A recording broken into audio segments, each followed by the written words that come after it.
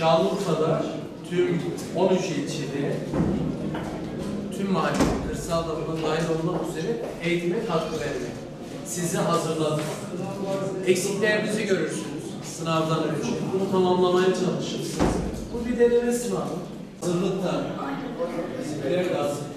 dağıtıyorlar.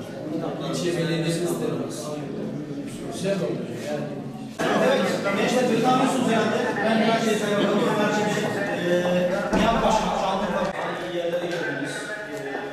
Eee bir düşüncemiz bu. Nihat Başkan'la bugün Güzel.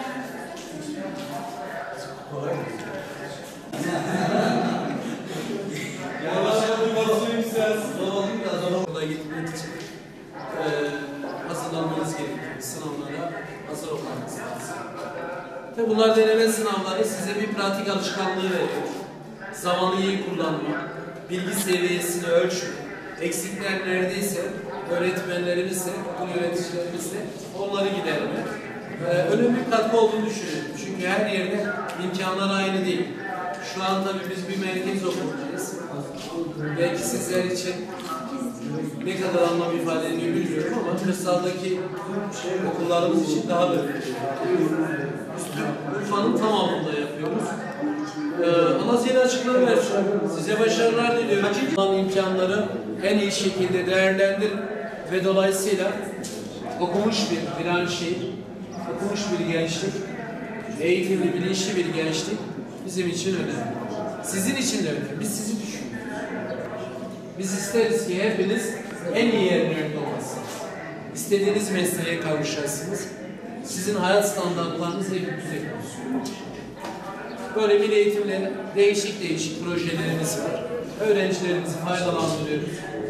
Ben e, hepinize kolay gelsin diyorum. Allah zihin açıklığı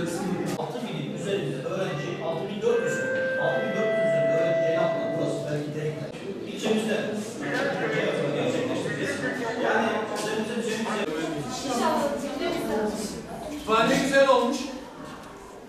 Evet, bu, güzel, bu sistem güzel. Neden? Gençlik okullarımızda gençliğin okuması gerekiyor. Onların böyle okul içerisinde de güzel oluyor. Böyle sınıflar. Birçok yerde bu yıl 22 tane yaptık. Şimdi tekrar bir 6 tane siparişini verdik. Güzel de oluyor. Tam böyle okul için kullanışlı, temiz bir şey. Sayın Başkanım şey... Güzel olmuş. Kitap okuyun. Ne olursunuz. Eğer farklı bir dünya keşfetmek istiyorsanız, eğer kendinizi geliştirmek istiyorsanız, eğer farklı dünyaları keşfetmek istiyorsanız, her şekliyle kitap okumanız lazım. Beyin kitapla gelişiyor. Donanım kitapla geliyor. Zevkle okuyun ama, severek okuyun. Yani böyle bir görevmiş gibi okumayın. Alın böyle, zevkle okuyun ne olacak? Yeni bir yazar tanıyorsunuz, yeni olaylar, yeni bilgiler ve donanım bununla geliyor. Ve ileride bunun faydasını çok göreceksiniz. Kesinlikle göreceksiniz.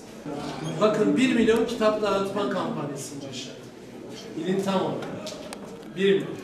Şimdi kütüphane kampanyalarını başlatıyoruz. Ve hepsini tüm okullarımıza yaparız. Sırayla. Biraz bekleyecek, sabredecek. Çünkü kaynak meselesi. Ama yapacağız yani. Hedefte ne var? Niçin yapıyoruz? Niçin kitap dağıtıyoruz? Okumazsanız bu kitapları eve götürüp bıraksanız bir faydası var mı? Okursanız bir milyon daha dağıtırız. Sizin için okuyan sizsiniz. Ama hedef. Ben şu olacağım, bu olacak. Şunun için istiyorum. Memleketim için istiyorum. Türkiye zihin açıklığı versin.